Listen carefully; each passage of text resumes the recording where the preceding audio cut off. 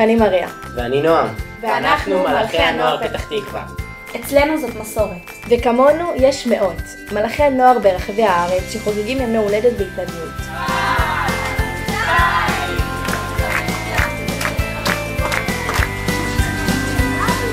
למדנו איך לארגן מסיבות, לשחק את כל המשחקים מערכות יום ההולדת, וקיבלנו ביטחון להיות הליצן של המסיבה.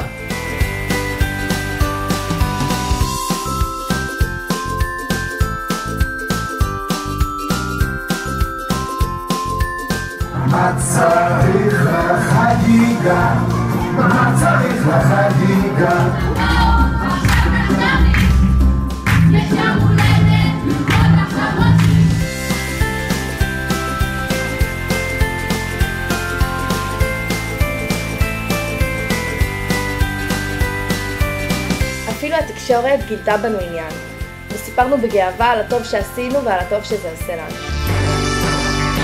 שלום, מריה ונועם. שלום. אז מה זה בעצם מלאכי היום הולדת, מריה? מלכי יום הולדת זה עמותה שפועלת למען ילדים שאין להם, להורים שלהם אין את האפשרות לממן להם יום הולדת. ואנחנו בעצם באים, שמים את הילד במרכז העניינים, חוגגים לו יום הולדת. הכל בחינם. כן. השנה קבוצה אחת אפילו לקחה את המשימה ממש ברצינות והחליטה לעזור לילדי המועדונית מעבר להפעלת המסיבות. הם הקימו להם מגרש כדורגל. הם התנדבו עם הלב ויצרו שינוי של ממש. הפרויקט של מלאכי נוער אה, נכנס אלינו לפעולה השנה בבית הספר בליווי של אה, נטע פאר, שהיא הרכזת החינוך הערכי שלנו. הילדים אה, למדו איך לחגוג יום הולדת לילדים שלא חוגגים להם בדרך כלל.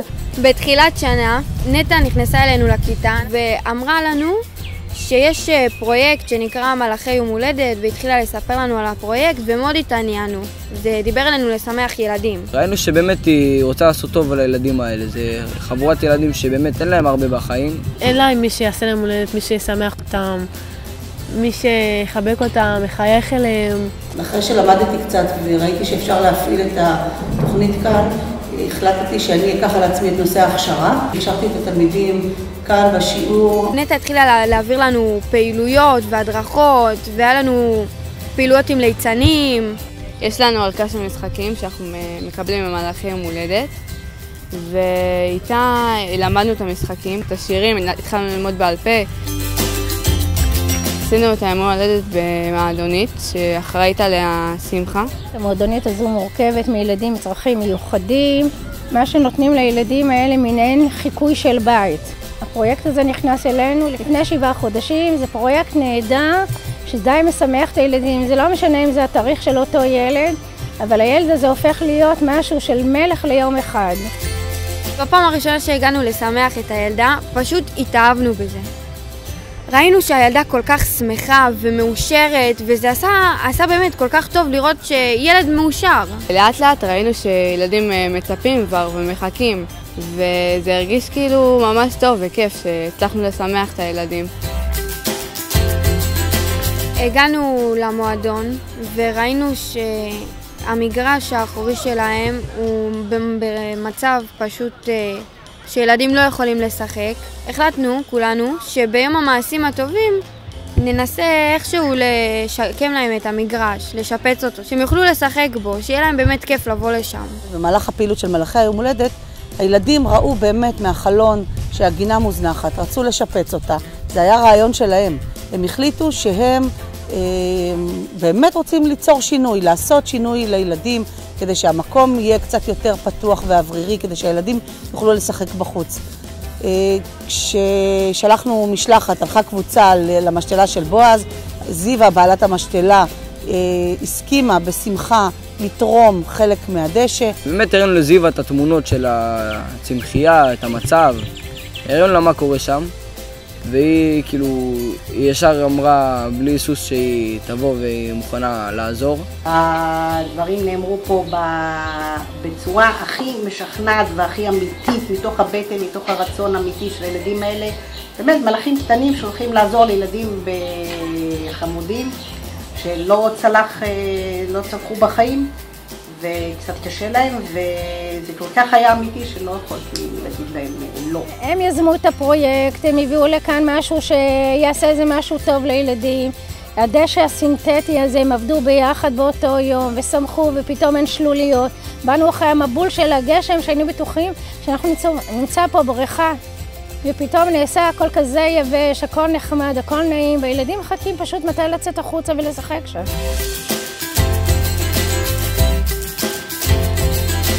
ברגע שהתחילו להכיר את הילדים ואת המקום שהם אה, משתתפים והם אה, חוגגים את הימי הולדת, אה, הם נעשו אנשים אחרים. אני רואה יום יום את השינויים שקיימים אצלם. מילדים שהם קצת בסיכון, שכל הזמן היו צריכים לדאוג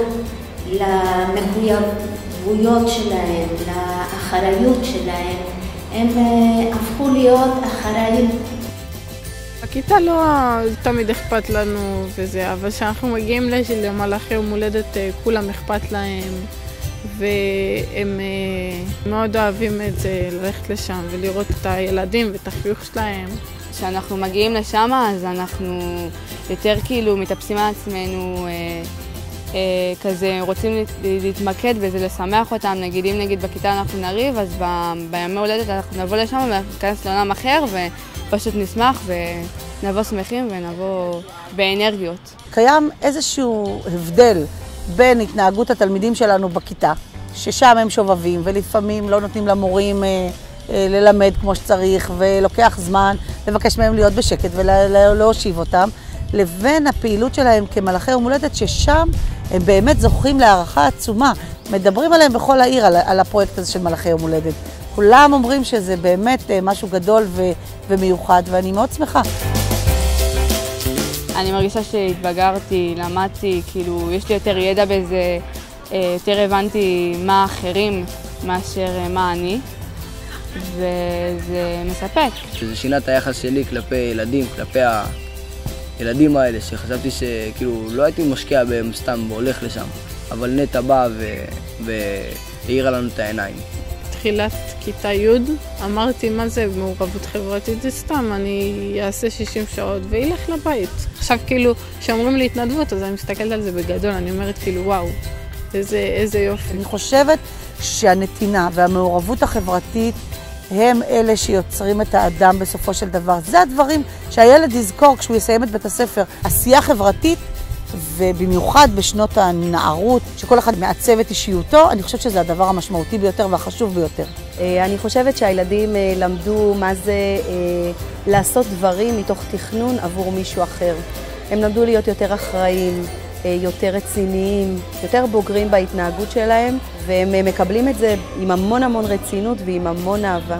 בחרנו בפרויקט של מלאכי יום הולדת כי הוא ייחודי. בשביל הילדים הקטנים זה אושר. הם ילדים שלא תמיד אה, באים בראש סדר העדיפויות אצל ההורים שלהם, שהיום הולדת נדחק טיפה לפינה. ומצד שני יש את הבני נוער. בני נוער שהיום לא מובן מאליו שבני הנוער מתנדבים, לא מובן מאליו בכלל שבני הנוער אה, מסתכלים רגע מה קורה אה, אצל האחר, מה קורה אצל השכן.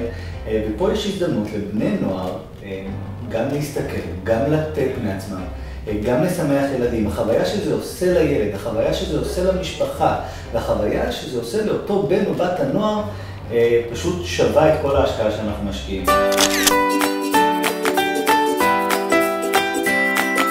התנדבות כמלאכי נוער הופכת אותנו מתלמידים רגילים ללהקות של מלאכים. ובקיצור, כשמאמינים בנו, אנחנו יכולים.